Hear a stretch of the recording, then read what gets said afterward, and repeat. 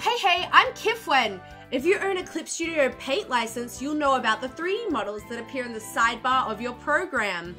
These models are commonly used by webtoon artists to help speed up the process, but I barely see them as commonplace use for regular artists. So I want to talk about how we can use them. If you open Clip Studio, the portal and not the art app version, quickly under the asset store you will be able to search and find custom 3D models made by creators and officially licensed ones. With a Clip Studio license, you actually own the rights to these models. You can search for specific terms or just browse the popular ones in the catalog. They go from wholesome to spicy if that's what you'd be looking for. I mean, if you want to pay me to draw with some of those models, I'd totally do it. Although do keep in mind some of these models made by individual creators have certain different licensing than the official ones. So just keep that in mind when using them. Now open your Clip Studio Paint back up. Go to the sidebar and go to the download section to look at all your shiny new models, or you can go into the 3D tab and source the ones that were automatically in Clip Studio Paint. Personally, for this video, I have chosen to use one of the default CSP ones, just for ease of following and understanding. Then, with this model, I decided to do some good old quick tracing, just to get myself a really good idea of the shapes and the form.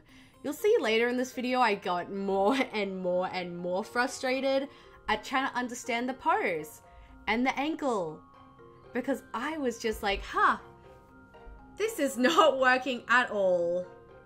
But this is something really good to do when referencing 3D models. Just trace over the shape, or even a photo ref. Trace it, try and understand, move away from it, and then try again. I kept getting more and more frustrated at the fact I wasn't able to recreate what the model was perfectly without tracing, as the idea of tracing bad has been so drilled into mine and many other artists' heads. But then I remembered this is exactly what the tool is intended for. Clip Studio Paint 3D models are intended to be bases for artists, whether to help learn or just generally speed up the process. From there, I redid a rough sketch directly over the top of the 3D model and edited with my own stylistic choices and anatomy so that this wouldn't present itself as some kind of freaky amalgamation of a stretched out and distorted Pietro As what I wanted to show in this video is how to use these to a great advantage. After I had a sketch that I had created through the tracing and referencing of this 3D model, I got started on my line work. But I need to talk about the advantages of using these models within Clip Studio Paint or why you'd even bother.